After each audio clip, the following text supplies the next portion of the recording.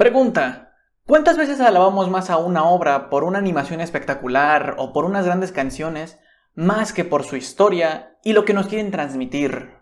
Bueno, pues yo no sé de planos, ángulos de cámara, encuadres, teoría del color y todas esas cosas más especializadas, pero quiero hablar de este señor pelón de aquí, porque las obras en las que sale su nombre como director son raras, muy raras, pero también tienen un aura que te absorben por completo. Entonces me puse como objetivo ver una selección de sus obras y encontrar qué es lo que las hace buenas, más allá de las historias. Pero primero un poco de contexto del protagonista del video. ¿Quién es Masaki Yuasa? Según Wikipedia, Yuasa es un señor japonés de 56 años que es director de series y películas de anime. También es guionista, artista de storyboards, guiones gráficos en español y animador, o sea, hace de todo. En los inicios de su carrera, se estableció como un creador identificable por trabajar en varios animes para un público infantil como Chibi Maruko-chan, Doraemon y principalmente Crayon Shin-chan. Proyectos en los que estuvo involucrado durante la mayor parte de los años 90. Entrando al nuevo milenio, debutó como director en Mind Game en 2004, la cual fue bastante galardonada en Japón. Después de esta película pasó varios años en Madhouse, sí, el famoso estudio, trabajando en varios proyectos hasta el 2013, año en que fundó el estudio Science Saru junto a un compañero. Actualmente y desde marzo del 2020, Yuasa dejó de ser el director general de este estudio, Aún está participando en un par de proyectos, pero ya con la idea de separarse por completo cuando los termine. Entrando en materia del video, he escogido tres series y tres películas que creo que con estas son suficientes para poder identificar el estilo de este director y apreciar cómo ha evolucionado a través del tiempo, ya que en todas es el director y también en algunas el guionista. Como la mayoría de ellas son adaptaciones, pues no hablaremos de las historias hasta el final del video, nos centraremos en la dirección. Las seis seleccionadas son Mind Game de 2004, The Tatami Galaxy de 2010, Ping Pong de Animation de 2014, The Night is Short, Walcon Girl de 2017, Ride Your Wave de 2019 y Keep Your Hands Off Eisuken de 2020. Y por curiosidad, las obras que no entraron son Kaiba, Kick Heart, Lu Over the Wall, Devilman Cry Baby, por favor no me maten por no incluir a esta, y Japan Sings 2020 principalmente. A ver, el rol de un director es dirigir. El rumbo que tomará una historia y la forma en la que se va a contar. Hacer de esta una experiencia inmersiva, ser parte del mundo que nos plantea, poder simpatizar con los personajes que nos presenta y comprender el mensaje que nos quieren transmitir las obras. Todo lo que conforma la animación, la banda sonora, los encuadres, eh, la narración, todo es para alcanzar este fin. De todo lo que realiza un director, lo que más me gusta a mí y lo que creo que representa mejor el estilo de Yuasa son cuatro cosas. La animación, la banda sonora, la narrativa y el enfoque. Y dentro de estas cuatro voy a hablar a un nivel bastante básico.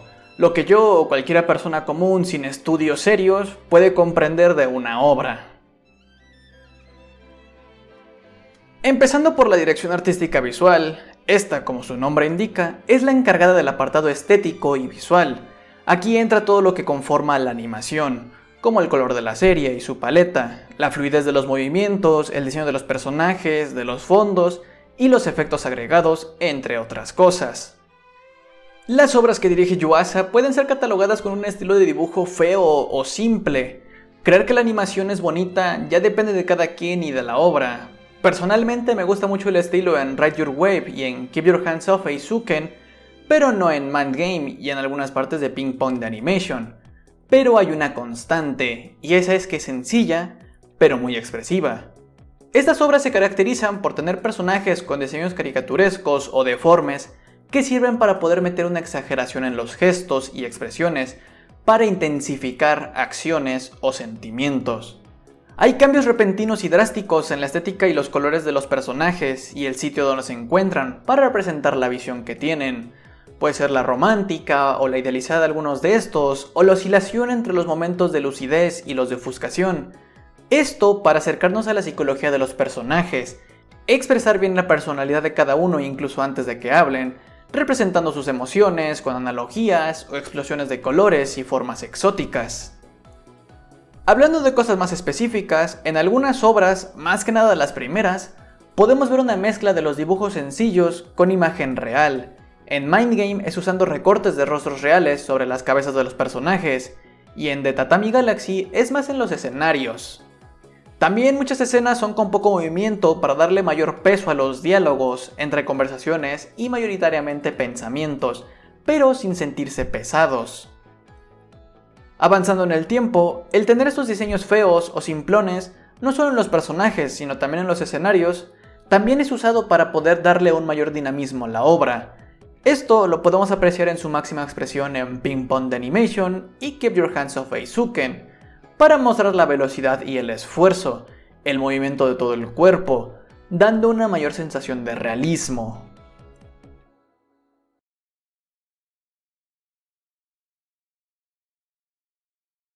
Pasando a la banda sonora o el soundtrack, aunque muchos, yo incluyéndome, nos quedamos en el simplemente, uff, qué temazo el de este protagonista, o vaya canción más guapa el de esta parte, la voy a buscar en Spotify para escucharla luego. Es algo muy importante, ya que puede potenciar los sentimientos de una escena y dejarlas plasmadas en tu memoria. Pero puedo decir que la mayoría de los temas son relajantes los escuchas y te dejas llevar por el suave oleaje de las melodías, que acompañan muy bien a todas y cada una de las escenas, sin quitarle el protagonismo. Al contrario, el ritmo de la gran variedad de canciones se amoldan a la trama, potenciando los sentimientos de los personajes y las situaciones.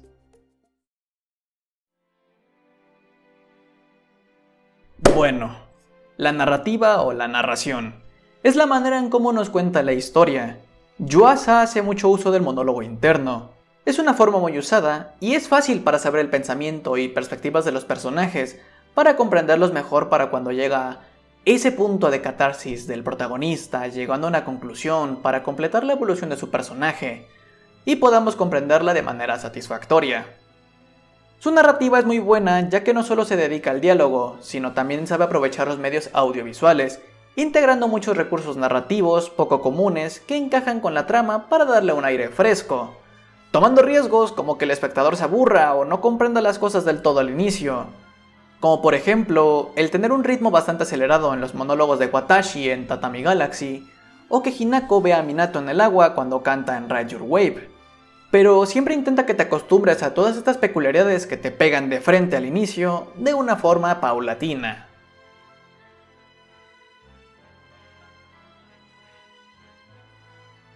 Como si una orquesta se tratase donde la animación, la banda sonora y la narrativa son los músicos, la dirección general es el maestro de esta orquesta.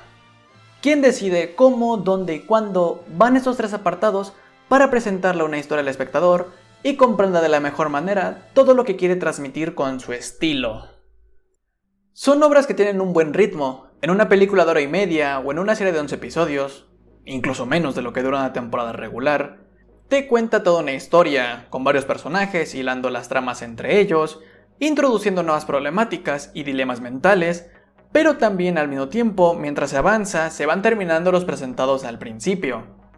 Momentos como la locura de Nishi y compañía cuando aceptan vivir dentro de la ballena, Watashi y su aislamiento en el tatami como forma de escape, la analogía del héroe y del robot de Smiley y Peko, la canción del viaje de Minato y Hinako, los mundos que imagina Midori cuando escribe historias para sus cortos animados.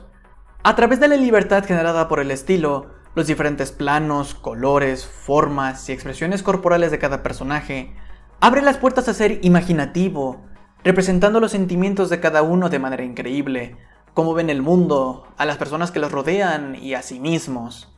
Todo en estas obras se transmite al público de una forma locada, pero de manera honesta. No son pretenciosas, Saben que estás aquí para ver una historia y para entretenerte, pero buscan que te lleves algo de ellas.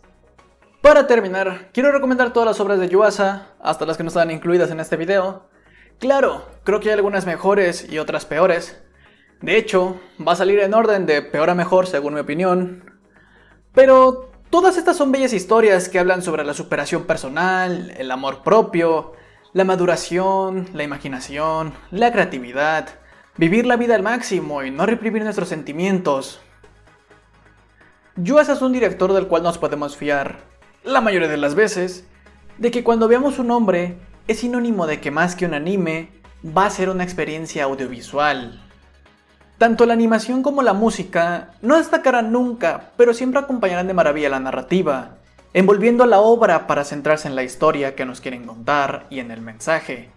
No para opacarlos, sino para complementarlos y resaltarlos, y que nos llevemos algo de lo que estamos viendo. Eso sería todo por mi parte, deja un me gusta y un comentario, y nos vemos en la próxima. Adiós.